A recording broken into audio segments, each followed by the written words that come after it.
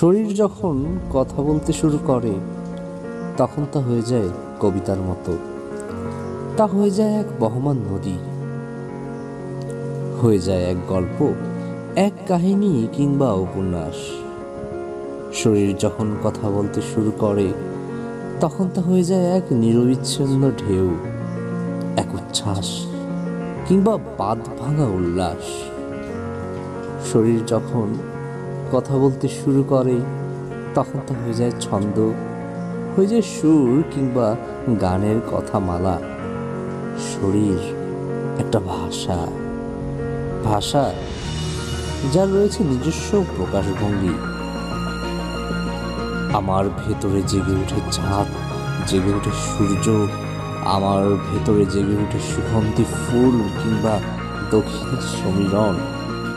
শরীর এবং আত্মার সমন্বয়ে গড়ে ওঠে এক আদিম চিত্রকলা। চিত্রকলা, যা তোমাদের ভাবাতে বাধ্য করে।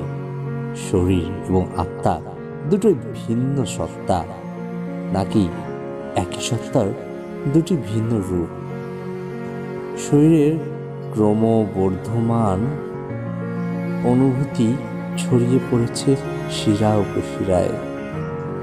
বহমান এ অনুভূতির নেই আদি, নেই অন্ত নেই কোনো ধরা বাঁধা নিয়মনীতি। শরীর কিংবা আত্মাতে তো এক ফানুষ। ইচ্ছে হলেই উড়ে চলে যায় কল্পনায় ভর দিয়ে, যেখানে খুশি সেখানে।